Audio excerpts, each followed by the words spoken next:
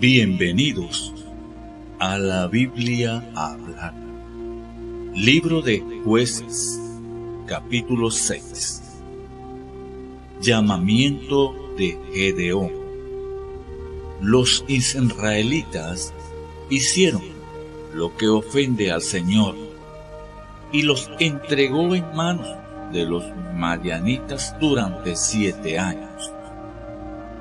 Era tal la tiranía de los madianitas que los israelitas se hicieron escondites en las montañas y en las cuevas y en otros lugares donde pudieran defenderse.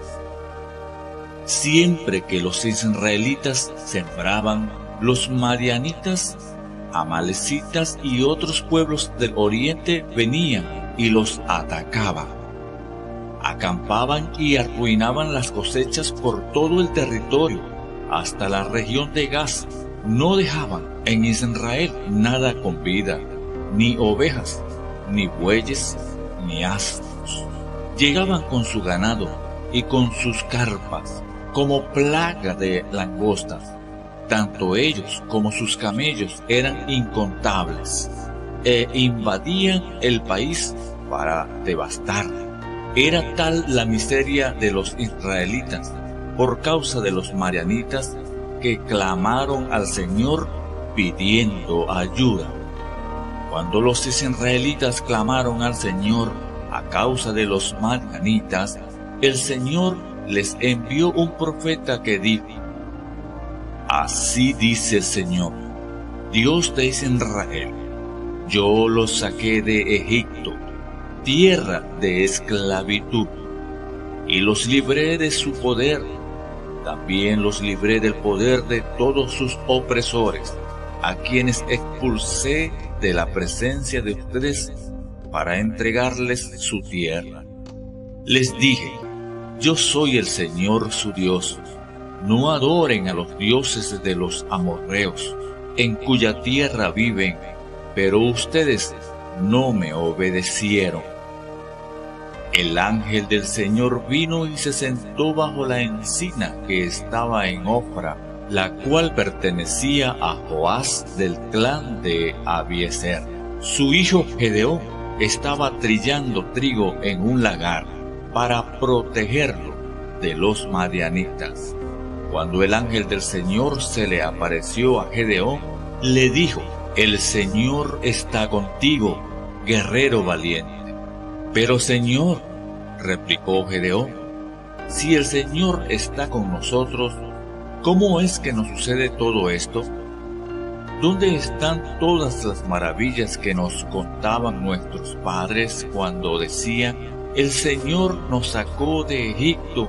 La verdad es que el Señor nos ha desamparado y nos ha entregado en manos de Madian. El Señor lo encaró y le dijo, Ve con la fuerza que tienes y salvarás a Israel del poder de Madián. Yo soy quien te envíe. Pero Señor, objeto Gedeón, ¿cómo voy a salvar a Israel? Mi clan es el más débil de la tribu de Man y yo soy el más insignificante de mi familia. El Señor respondió, Tú derrotarás a los madianitas como si fueran un solo hombre, porque yo estaré contigo. Si me he ganado tu favor, dame una señal de que en realidad eres tú quien habla conmigo, respondió Gedeón. Te ruego que no te vayas hasta que yo vuelva y traiga mi ofrenda y la ponga ante ti. Esperaré hasta que vuelvas, le dijo el Señor. Gedeón se fue a preparar un cabrito, además con una medida de harina hizo panes sin levadura. Luego puso la carne en una canasta y el caldo en una olla y los llevó y se los ofreció al ángel bajo la encina. El ángel de Dios le dijo, toma la carne y el pan sin levadura, y ponlos sobre esta roca, y derrama el caldo. Y así lo hizo Gedeón. Entonces, con la punta del bastón que llevaba en la mano, el ángel del Señor tocó la carne y el pan sin levadura, y de las rocas salió fuego. Consumió la carne y el pan. Luego el ángel del Señor desapareció de. Cuando Gedeón se dio cuenta de que se trataba del ángel del Señor, exclamó, ay de mí, Señor y Dios, he visto al ángel del Señor cara a cara. Pero el Señor le dijo, quédate tranquilo, no temes, no vas a morir.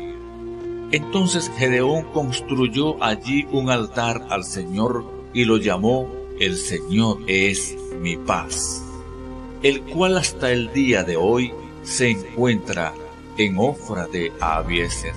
Aquella misma noche el Señor le dijo, toma un toro del rebaño de tu padre, el segundo, el que tiene siete años.